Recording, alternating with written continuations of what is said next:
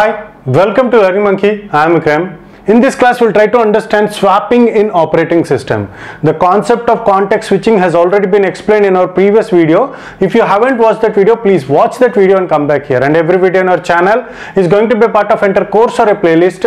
Our suggestion is to follow the entire course so that you can have better understanding of the concepts. And the link for the playlist is provided in the description below.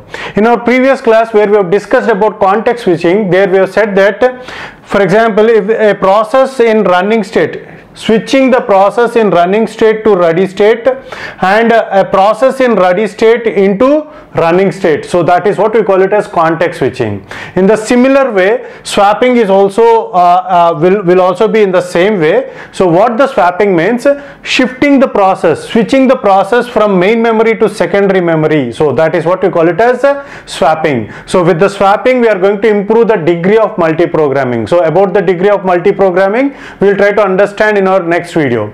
Now right now what is what what is meant by swapping is for example so we'll try to understand this by using this example. So now uh, a process is there. Uh, uh, all these processes are getting executed on the are there on the primary memory or main memory. And uh, uh, whenever for example if process p9 is there and this process p9 wants to uh, execute on the CPU now this p9 is having the highest priority and there is no room for this process to get uh, to get stored onto this main memory. Now what happens is among all these processes one of the low priority process will be shifted back into the hard disk.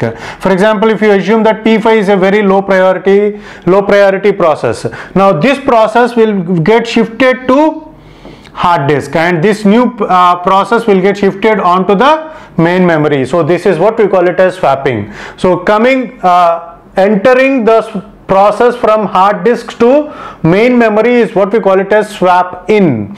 And uh, bringing the process from the main memory to the hard disk is what we call it as swap out. Okay? So this is what we call it as swapping. Hope you got the clarity on this concept. Thanks for watching. If you haven't subscribed to our channel please subscribe to our channel and press bell icon for the latest updates.